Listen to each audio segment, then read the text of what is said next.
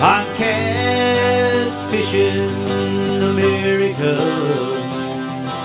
You just don't get better than this. I'm catfishing America. Cause I was born to fish. The Tennessee River, the Mississippi mud. There's no other place that I wish I was. Ohio River Pickwick Lake. The rest of the world's gonna have to wait while I'm catfishing America. You just don't get better than this.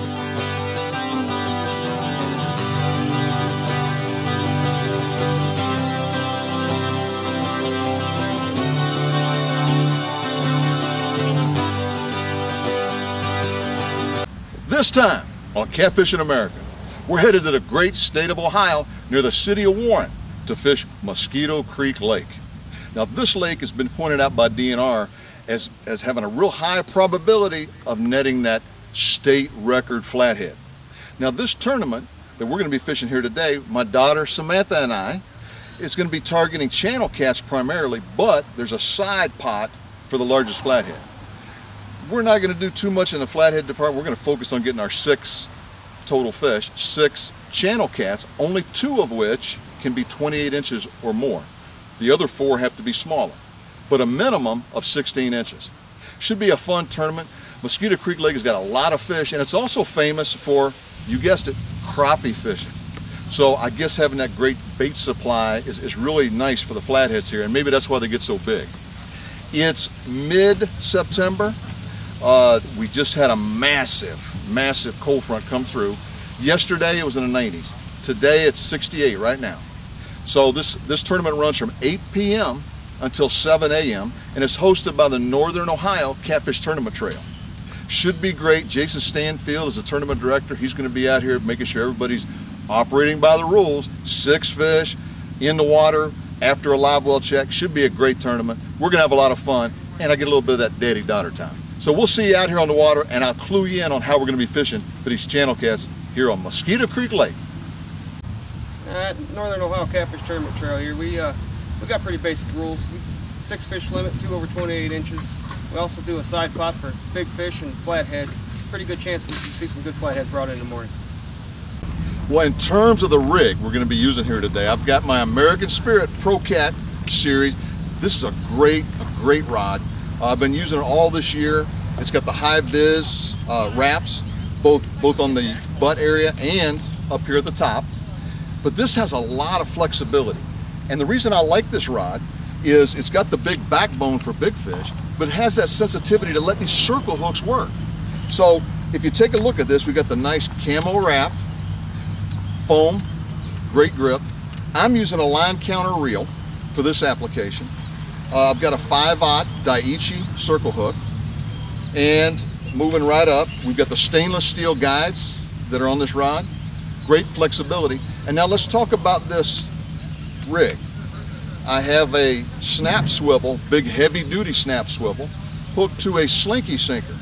This is that parachute cord with the small shotgun shell pellets on the inside. This adds up to about an ounce and a half.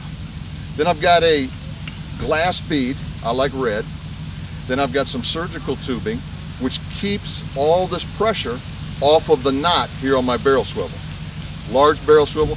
Now my red Cajun leader, this is 50 pound, and then a large cigar float.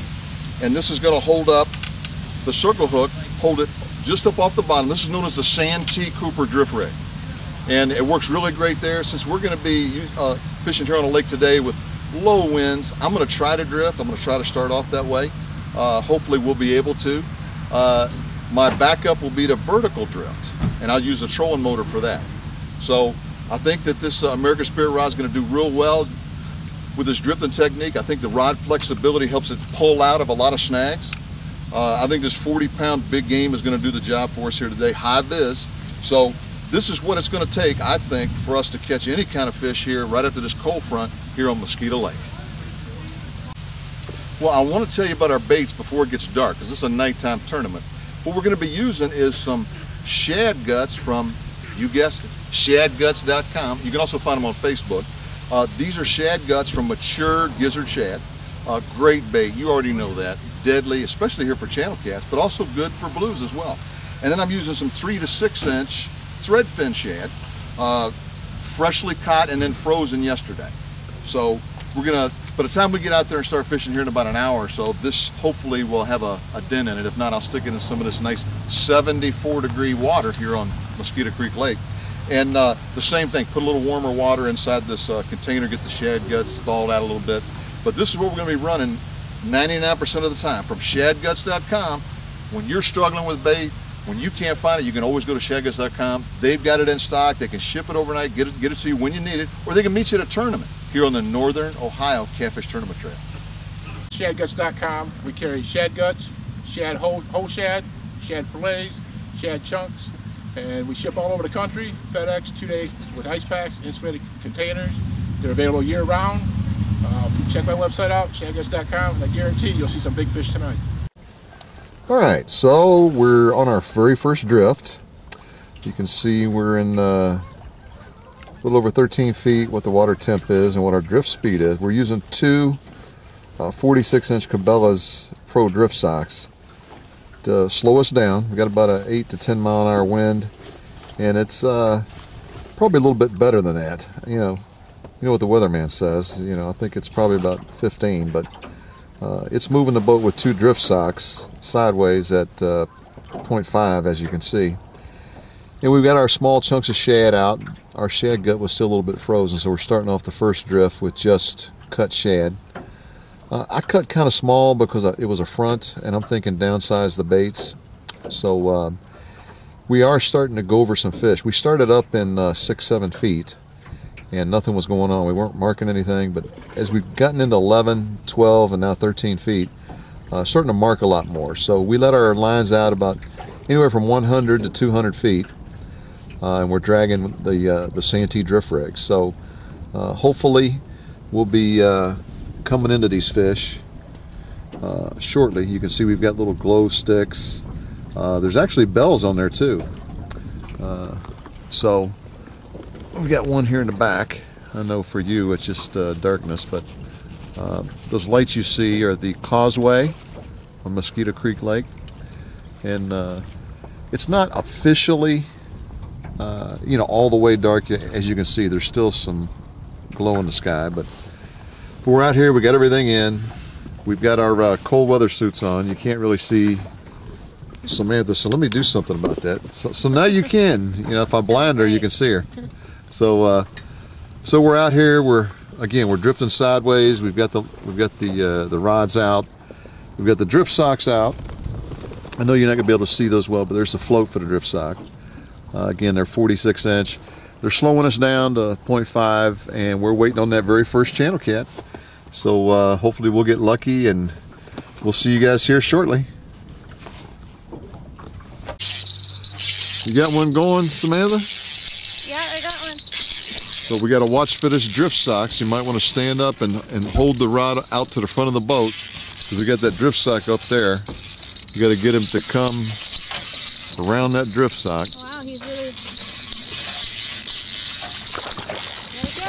There he is. Yeah, let me reach back here and get a uh, net for us.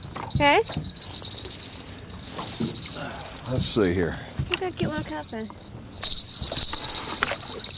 All right, fish number one. All right, nice job. Wait. What do you think? He's cute. yeah, blind you with the light. Cool. Well, we'll get him out of the net, get it in the live well. Yeah, it looks like it's uh, legal. They just got to be 16 inches minimum, and this one definitely is. So this came on a shad gut. You know, probably goes uh, three pounds, three and a half, four pounds, something like that.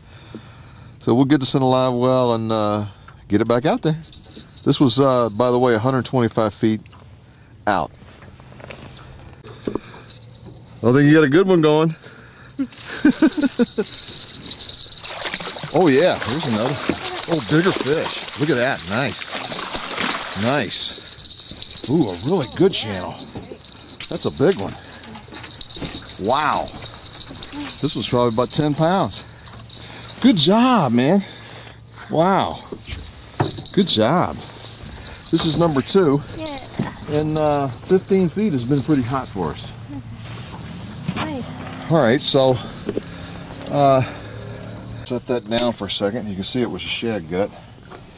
We'll shine a light on that. Let me try to see what the weight is. Uh, let me see the scale. What is that? Looks like uh, about eight pounds. About eight pounds. That's that's fine with me. All right, we'll get this out of the way, and we will uh, put this in the live well.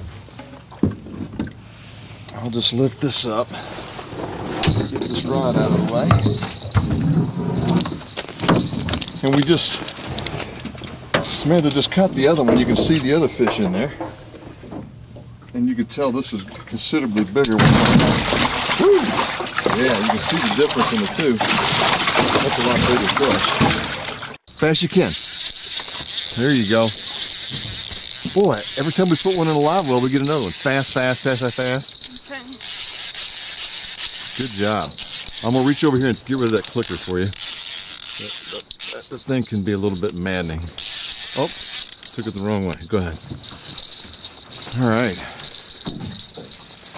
Fast, fast, fast, fast, fast, fast, fast, fast, fast. Still there? Yeah. We gotta watch out for the drift socks. Mm. Yeah. Okay. I get it. Getting closer. Oh, it, oh, it's heading up to the front of the boat. Okay, stop. Just my arms. Let's take a look at that line. I gotta try to see it. All right, it's over this, so you gotta come all the way up front. Okay, all the way up front. Short, so And then reel, reel, reel, reel, reel. I'm gonna grab the net. Let's go back here to the net. Grab it. We still got a rod out of the water from the last fish. That nice fish. We haven't had a chance to put it back in. This is probably another good fish. Fast, fast, fast, fast, fast. I cannot. Okay, hold on. Can't tell if it's over this line or not. So just reel, reel, reel, reel, reel. Fast, fast, fast, fast, fast. Coming towards the boat. Fast, fast, fast, fast, fast. He's almost here. Straight down. There it is. Keep going. Almost there. Oh, another good fish. Stop, stop. Another big fish. Wow, he's huge. Yeah, this one's, hold on. Oh, We right got a mess. Yeah. All right, I Daddy's got to uh, unsnag this, and we'll be back in a second.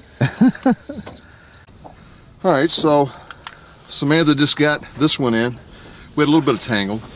Uh, still got rods we haven't got to put back in. As soon as we hit this 15 foot, we start getting all these bites. This is another eight pounder or so. We'll put this in a live well, and uh, we might be able to actually. Yeah, that one was a male. That looks bigger than eight pounds, but Maybe it is. Maybe I was just, uh, as you can see, we got three. Our limit is six. And uh, it goes by length. So we can only have two that are 28 inches or longer. So we'll have to measure those two for length. But, uh, you know, that one could be 28 inches. But uh, we'll have to take a look and see. But so far, so good. Maybe fish number four. Maybe. It's got a real fast, fast, fast, fast, fast.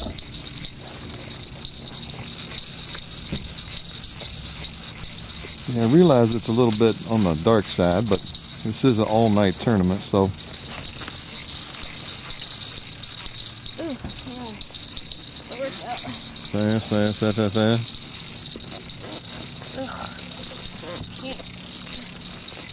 So it's, it's close. It's almost right under there. Right there. All right, I'll get the net. Oh, it don't sound like a baby. It's just probably not as big as the monsters you've been getting lately. Closer. Closer, closer, closer, closer. Up, higher. Okay. All right, quit reeling. Okay, grab this. Mm-hmm. I got it. It's on, it's recording. Oh, okay. Number four. Well, it takes teamwork here. So you can start filming and I'll get this thing out. Is it recording? Yep, it's recording. And uh, two of them might be that 28 inches, I don't know. And two of them aren't. So I know we're safe so far. We're gonna have to measure that one. I'm sure that one's probably 28. But uh, this one right here, upon further review, probably isn't. I think this one is, and that one isn't. So, so far so good. I gotta, you know, I knew that, uh, I knew this was not gonna be a weight kind of thing. I I knew we had to know the, the lengths. And I didn't bring a yardstick or anything. So what I think I'm gonna try to do, I've got one on top of my cooler. I've got some tape. So I think I'm gonna measure out the 20 inches that the cooler gives me and I've got a piece of tape. I'll mark that. Uh, I think I got a second piece I'm hoping. And then I'll add the eight so I'll know 28 inches and then I'll go a little bit less just to be safe. But uh, we're gonna come up with something. But then I'll get this one back out in the water and two to go and then we can start culling a little bit. And uh, thing about these channel cats, oh nice. There we go.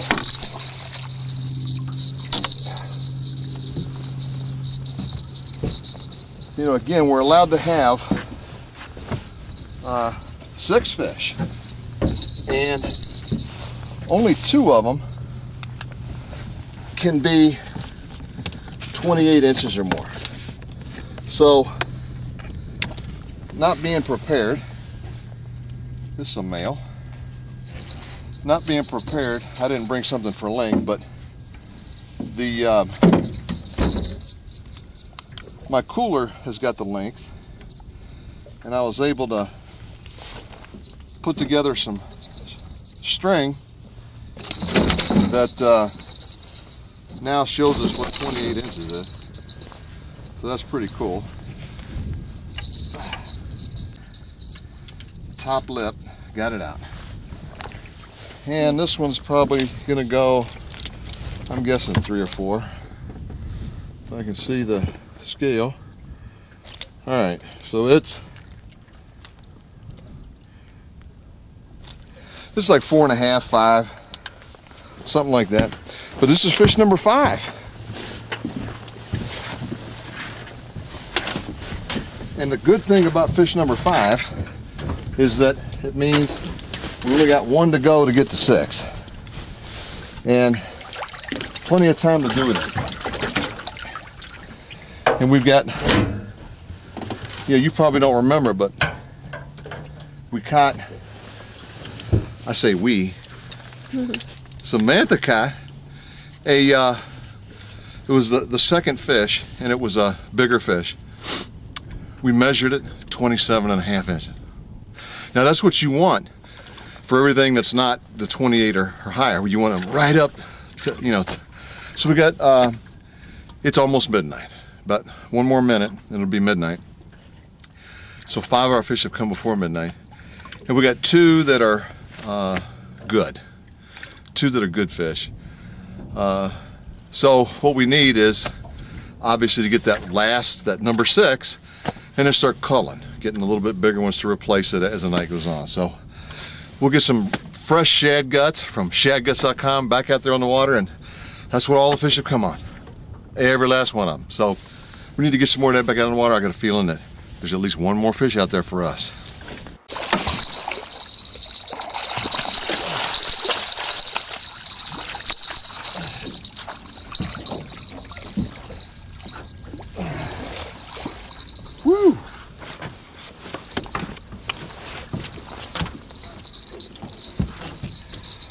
Yeah, nice fish.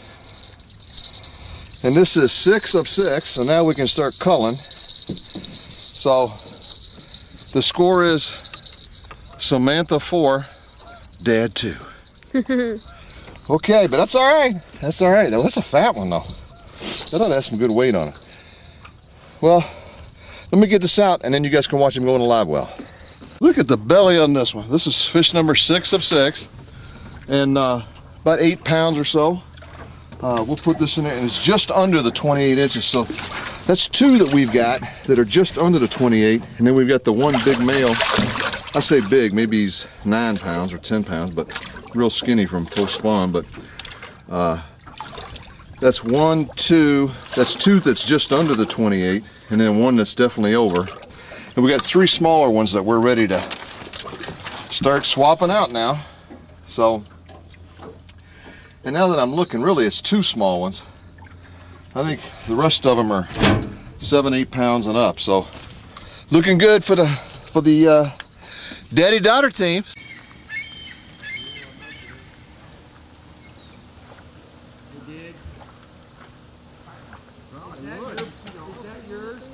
I put mud in that. I thought that's what you guys wanted.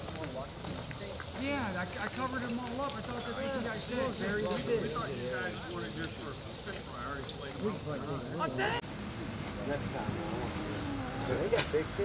Big fish, 10.8, William and Thomas.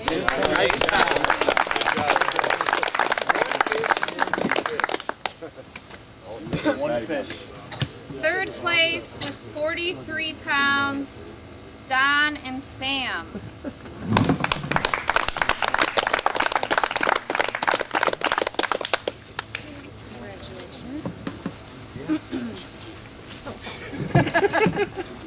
Second place, 46 pounds, Keith and Mike.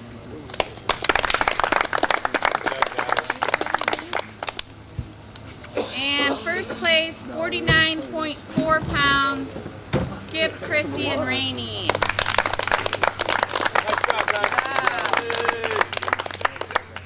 You come to the base, Skip. What's that? You gotta come to the bay. I might, I'm gonna try. Thank everybody for coming out. Don't forget our next tournament's October 11th, Sandusky Bay. Well, there you have it. Mosquito Lake. We're out there, our first tournament together, and end up with third place. 43 pounds plus some ounces, whatever. Six channel cats. Uh, strictly uh, drift fishing using that Santee Cooper rig. What'd you think of your first tournament with the old, with the old guy? It was great. Very cold though. Very cold. Big cold front came through. Uh, it was 90 something degrees, 95, 97 uh, the day before the tournament. And last night the low was 48 degrees. Woo! You know, so obviously we were chipping ice off of each other and stuff, but got the fish, fun time. I tell you what, Mosquito Lake has got not only some monster flatheads, there was one even weighed in today with these conditions, but it also has some great channel cats and an awesome crappie fishery. There's walleye in here. I mean, a little bit of everything, but a fantastic crappie fishery, fantastic channel cats, and unbelievable DNR predicting state record flathead fishery. So for Catfishing America, I'm Captain Don Sweet, and we'll see you next time out on the water, chasing them whiskers. Tennessee River, the Mississippi mud. There's no other place that I wish I was. Ohio River or Barkley Lake. The rest of the world's gonna have to wait while I'm catfishing America. It just don't